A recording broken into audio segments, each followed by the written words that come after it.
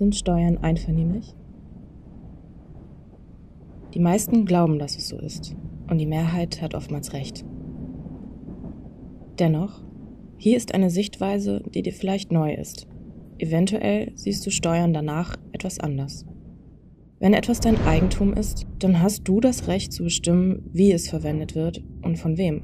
Du bist Eigentümer von allem, was du kaufst oder herstellst. Und auch dein Körper ist dein Eigentum.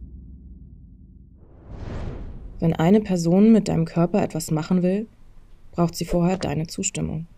Das nennen wir dann Einvernehmlichkeit.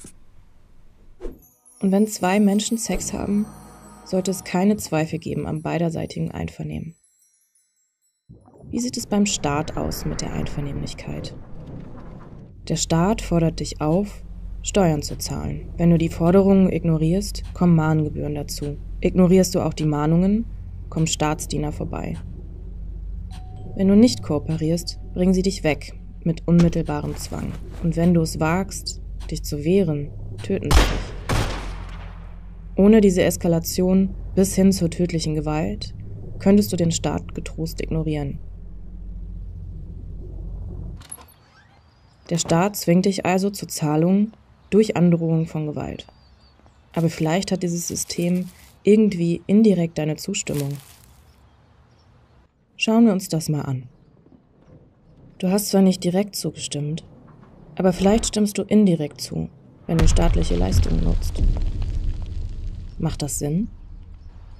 Stell dir vor, du wirst von Ganoven entführt und in eine Truhe gesperrt. Jeden Tag geben sie dir eine Schüssel mit Suppe. Solltest du die Suppe essen, willigst du damit ein zu deiner Gefangenschaft? Ob du die Suppe isst oder nicht, die Ganoven lassen dich so oder so nicht heraus. Dein Wille ist völlig irrelevant. Also kann es auch keine Einwilligung sein, wenn du die Suppe isst.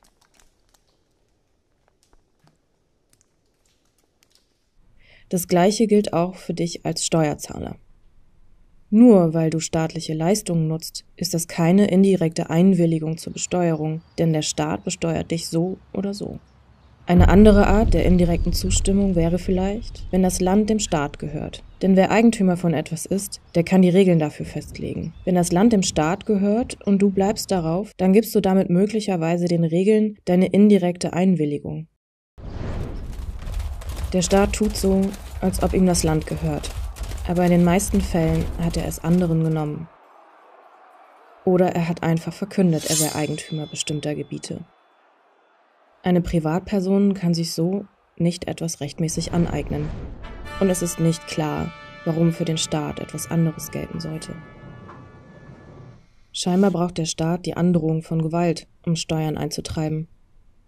Du hast dem aber nicht eingewilligt. Es ist ohne dein direktes Einvernehmen und ohne dein indirektes Einvernehmen. Denn dein Wille spielt bei den Auflagen keine Rolle. Du nimmst Leistungen an, wohlwissend, dass der Staat dich so oder so besteuern wird. Und dem Staat gehört das Land nicht wirklich, also sind seine Regeln dafür nicht legitim. Die Einvernehmlichkeit von Besteuerung ist bestenfalls ungeklärt. Beim Sex nehmen wir es mit der Einvernehmlichkeit sehr genau. Es gibt alles Mögliche, was die Einvernehmlichkeit von Sex in Frage stellt. Da Besteuerung nicht möglich ist, ohne die Eskalation bis hin zur tödlichen Gewalt, sollten wir ein noch strengeres Maß anlegen, um die Einvernehmlichkeit davon zu bestimmen.